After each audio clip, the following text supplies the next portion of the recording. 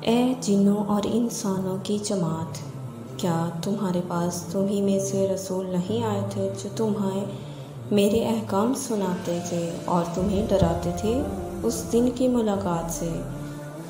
یہ آیت اس بات کی واضح دلیل ہے کہ جس طرح بنی نو انسان میں پیغمبر مبوس کیے گئے، اسی طرح قوم جنات میں بھی انہی میں سے ہی نبی بھیجے گئے تھے۔ جنات کو آگ کے شعلوں سے پیدا کیا گیا۔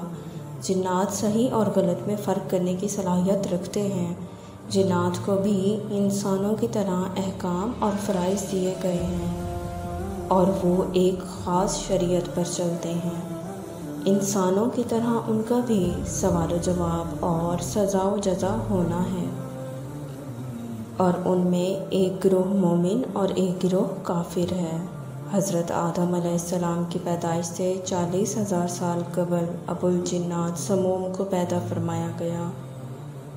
سموم جنات کا باپ کہلایا۔ اللہ تعالیٰ نے سموم کو آگ کی شولوں سے پیدا فرمایا تھا، لیکن کچھ علماء نے فرمایا ہے کہ پہلے جن کا نام مانش تھا۔ جب اسے پیدا فرمایا گیا تو اللہ تعالیٰ نے فرمایا، اے ابو الجن، کیا تیری کوئی خواہش ہے؟ اس نے کہا کہ میری تمنا یہی ہے کہ ہم سب کو دیکھ سکیں لیکن ہمیں کوئی نہ دیکھ سکے۔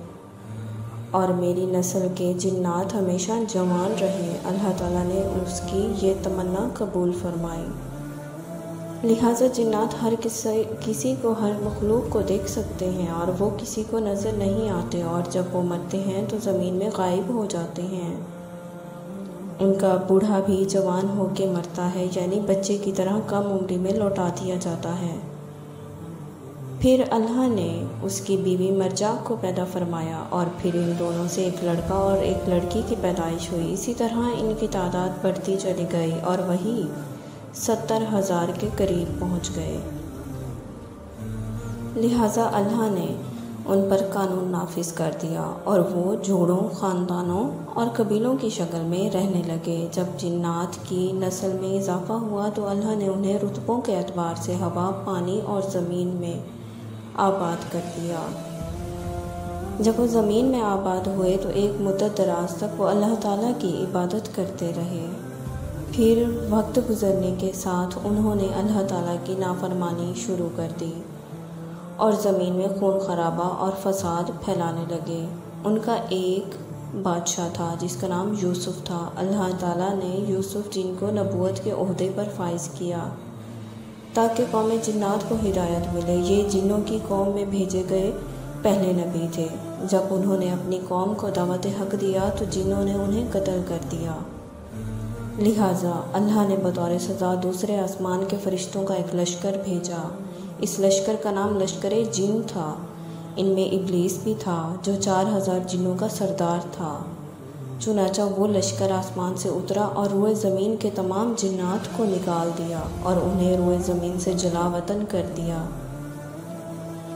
ان کو دریاؤں اور جزیروں میں بھگا دیا گیا، جبکہ کچھ مفکرین یوسف جن کو نبی نہیں مانتے، بلکہ صرف بادشاہ قرار دیتے ہیں۔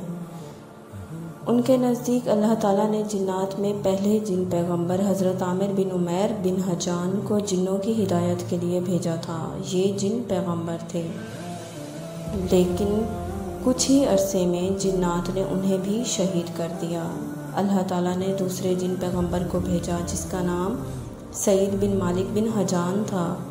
ان کو بھی جنات کی ہدایت کے لیے بھیجا گیا تھا، لیکن انہیں بھی جنات نے شہید کر دیا۔ یہ سلسلہ آٹھ سو سال تک جاری رہا۔ ان میں بلکہ چلپانیس، جان اور کئی پیغمبر مبوس کیے گئے۔ اس دوران انہوں نے آٹھ سو سے زیادہ پیغمبروں کو شہید کیا۔ اس کے بعد اللہ تعالیٰ نے قوم جنات پر عذاب نازل فرما دیا۔ اور جب ان پر اللہ کا عذاب نازل ہوا تو زمین کا ایک بہت بڑا حصہ ان سے صاف کر دیا گیا۔ ان میں سے چند اطاعت گزار جنات بچ گئے، جو غاروں، سمندروں اور پہاڑوں میں چلے گئے۔ لہٰذا جنات پر ایک لشکر بھیجا گیا جن کا سردار ازازیل یعنی ابلیس تھا۔ انہوں نے جنوں کو روئے زمین سے بگا دیا۔ جنات سے جنگ کے بعد ازازیل نے اللہ سے التجا کی کہ اسے یہی زمین میں ہی رہنے دیا جائے۔ لہٰذا وہ یہاں آباد ہو گیا اور اس کی نسل خوب پھلی پھولی۔ اس کی کثرت، عبادت کی وجہ سے اسے ساتوں آسمان اور جنت میں جانے کی بھی اجازت مل گئی۔ پھر ابلیس نے روئے زمین کے جنات کو بھی اپنے ساتھ ملانا شروع کر دیا۔ جنات کے چار قبیلوں نے ابلیس کے ہاتھوں پر بیعت کر لی۔ جن کا نام کھن، دام، ممتاز اور مراسم تھا۔